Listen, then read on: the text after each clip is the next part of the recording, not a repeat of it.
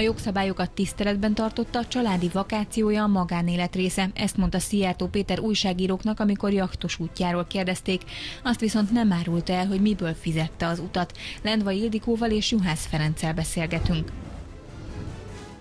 Jó estét kívánok! Hát nem tudom, kilepődött meg a külügyminiszter válaszán, esetleg Lendvai Kó vagy Juhász Péter meglepődött-e jó estét kívánok. Ugye azt is mondta, uh, Juhász Ferenc, bocsánat, hogy az, élete, hogy az élete csak nem száz százalékáról a nyilvánosság mindent tud, és az lényegében nyitott könyv.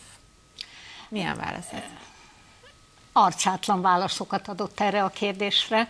Túlságosan nem lepett meg, bár azért eddig még ő is próbálta támadható vagy vitatható lépéseire valamilyen fal magyarázatot adni. Emlékszünk, amikor a 170 milliós villára azt mondta, hogy hát családi segítségből épült, tehát akkor legalább szükségét érezte, mindegy, hogy igaz vagy nem igaz magyarázatnak.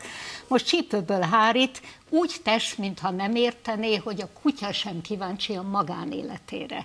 Arra vagyunk kíváncsiak, hogy lehet az, ha egy kormánypályá, hogy egy kormánypályázatokból gazdagodó vállalkozótól fogad el a jelek szerint ingyen szívességet. És mi lesz a viszonszívesség?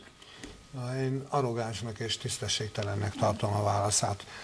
Arrogánsnak azért, mert azokat az érveket, amelyeket egyébként korábban a Fidesz minden politikai akciója során bevetett, azokat most anulálja és nem foglalkozik vele, nevezetesen, hogy van olyan, hogy politikusi tisztesség, van olyan, hogy politikusi kötelem, és erre egy nagyon-nagyon durva elutasító választ adott.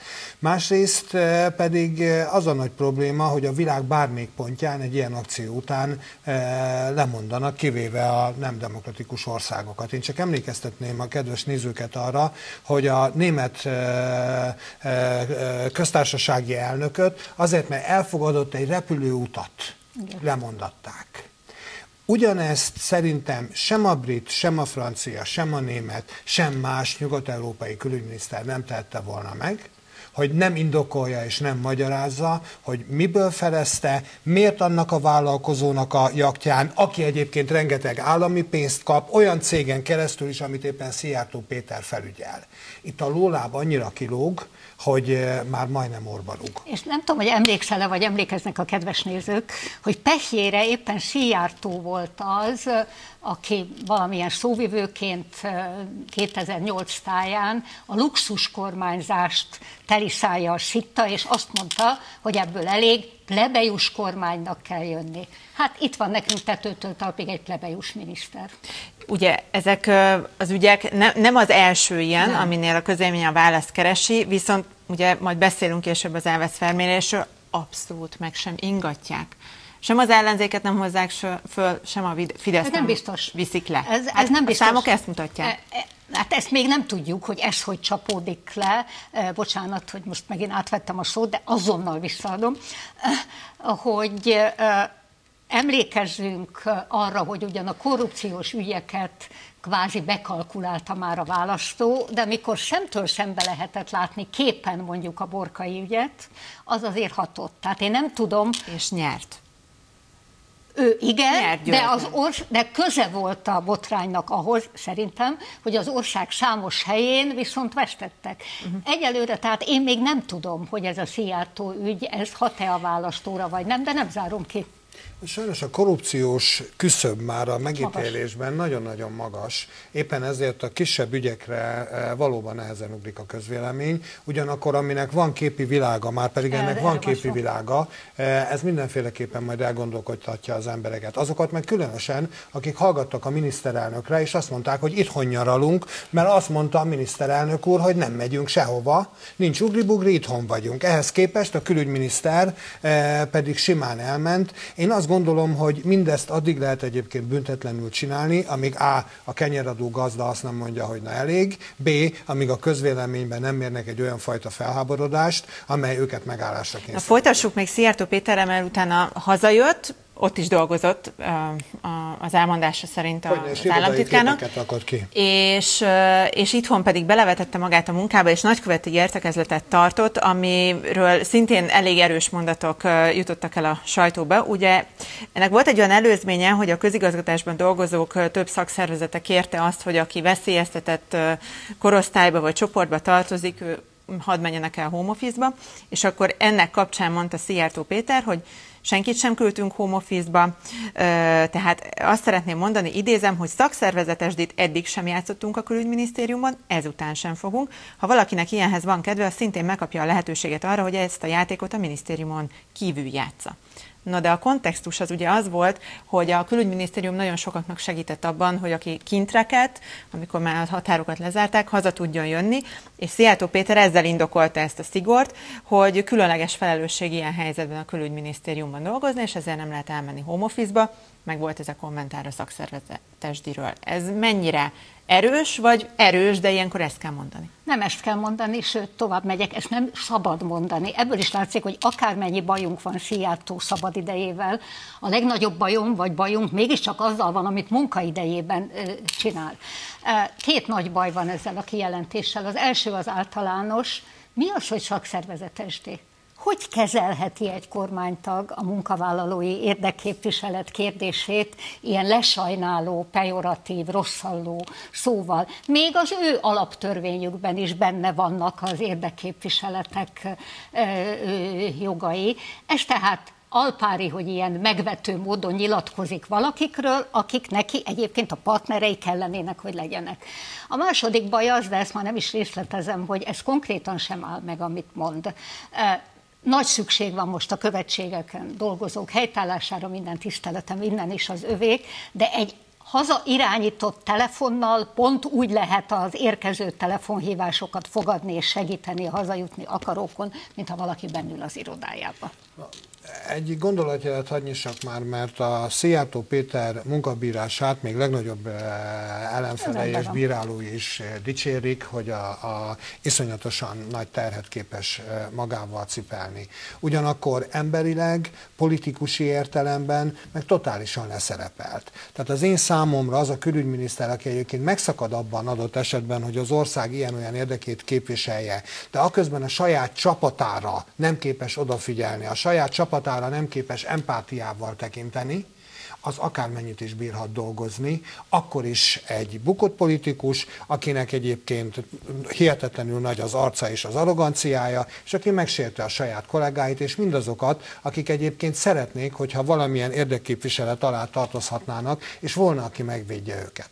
Jó, de nyilván akinek meg segítettek hazajutni, barátnak, kollégának, rokonnak, ő meg annak örül, hogy ők végezték a dolgokat. Nem biztos, hogy mindent lehet home office-ból végezni. Mindent biztos nem, de az is biztos, hogy az az állítás sem igaz, hogy semmit nem lehet. Igen. Hogy aki home office-ban van, az ezek szerint valami megvetendő szakszervezetesdit játszik, és nem csak a munkatársainak szól, ez Feri utalt rá. Mit szólnak azok a, hát biztos, hogy több százezrek, akik home office-ba végezték a munkát, mindenki tudja, hogy az még több időbe telik, mint ha valaki bejár a, a, az irodába. Hát, még ott van a gyerek, a háztartása. Pontosan így van, ez a lesajnálós szó őket is üti, tehát én elhiszem, igazad van, hogy ez egy nagy teherbírású ember, csak ezt nem méltányolom, ha ezt a terhet folyton a mi lábunkra ejti rá.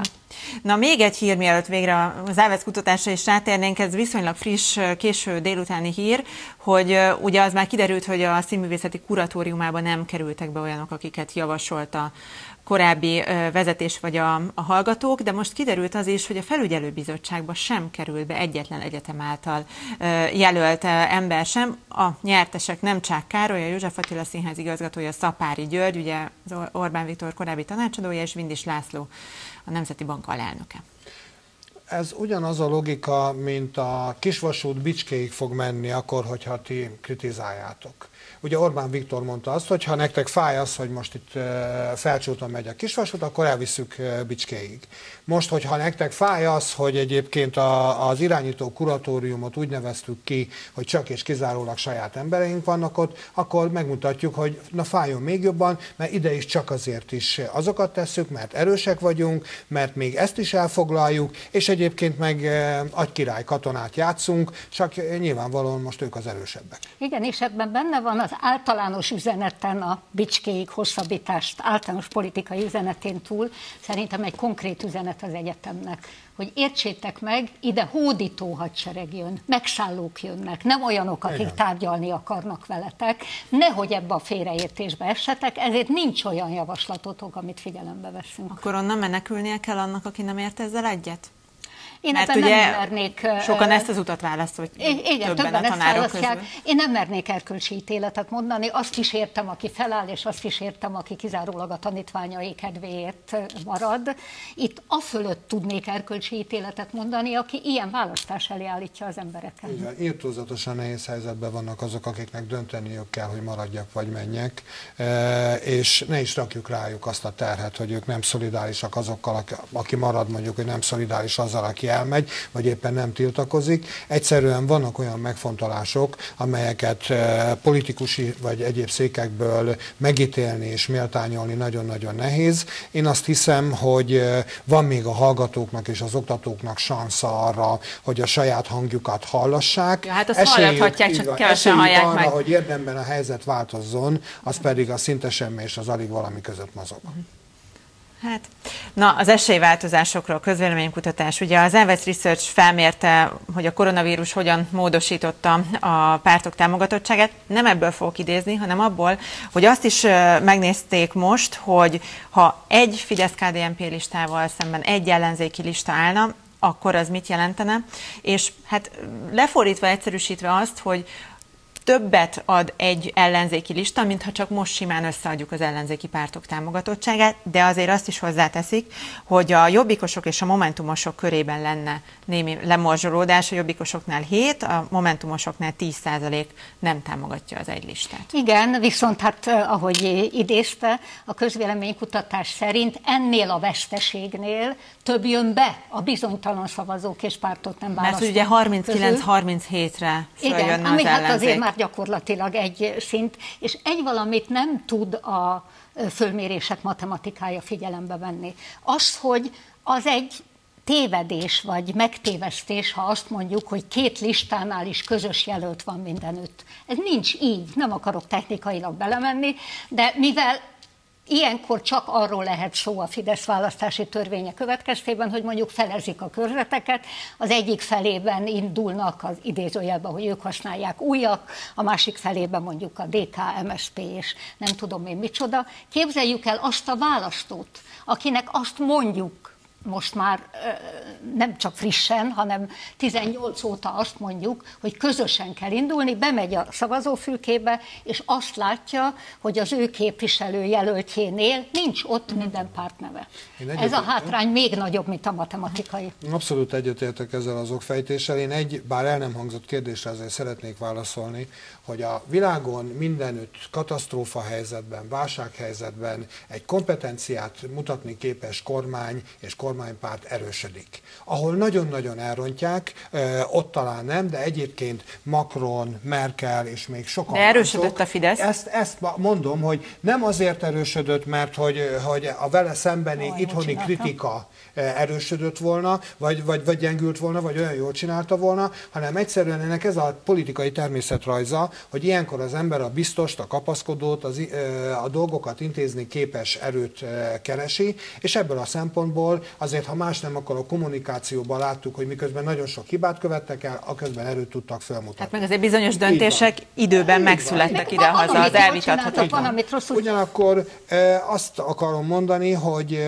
ellenzéki politikusként, ha az lennék, sem dőlnék hátra, mert a mostani akár egylistás indulási esély is még nagyon-nagyon sok gondolkodási eh, feladatot ad a, a vezetőknek, részint a közös program összehozása eh, érdekében, részint saját pártjuk imidzsének megőrzése érdekében. Ez egy olyan nagy kihívás, amire a későbbiekben nekik készülni. Hát meg ugye arról nagyon keveset beszélünk, és most sem fogunk, mert lejárt az hm. időnk, hogy jók-e az egyéni jelöltek? Mert hogy eddig mindig arról beszéltünk, hogy egy jelölt álljon egyel szembe, de azért az az egy. Kicsoda, hát, merje vállalni azt, hogy ki áll.